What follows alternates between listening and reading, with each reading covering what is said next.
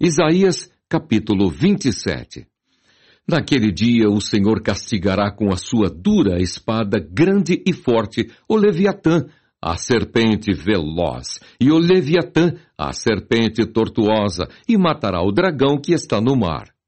Naquele dia haverá uma vinha de vinho tinto. Cantai-lhe. Eu, o Senhor, aguardo e a cada momento arregarei, para que ninguém lhe faça dano. De noite e de dia aguardarei.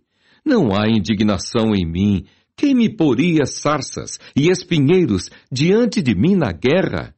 Eu iria contra eles e juntamente os queimaria ou que se apodere da minha força e faça paz comigo. Sim, que faça paz comigo.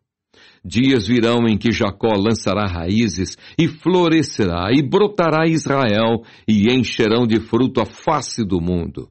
Porventura, feriu-o ele como feriu aos que o feriram? Ou matou-o ele assim como matou aos que por ele foram mortos? Com medida, contendeste com ela quando a rejeitaste. Ele atirou com o seu vento forte, no tempo do vento leste. Por isso se espiará a iniquidade de Jacó, e este será todo o fruto de se haver tirado o seu pecado. Quando ele fizer a todas as pedras do altar como pedras de cal, feitas em pedaços, os bosques e as imagens do sol não poderão ficar em pé.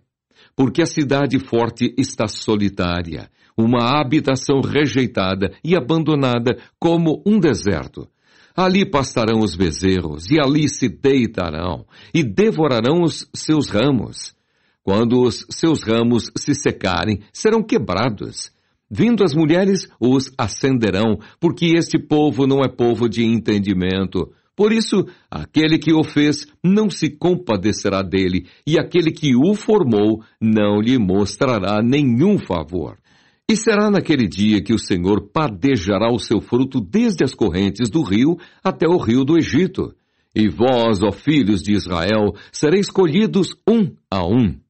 E será naquele dia que se tocará uma grande trombeta, e os que andavam perdidos pela terra da Assíria, e os que foram desterrados para a terra do Egito, tornarão a vir e adorarão ao Senhor no Monte Santo, em Jerusalém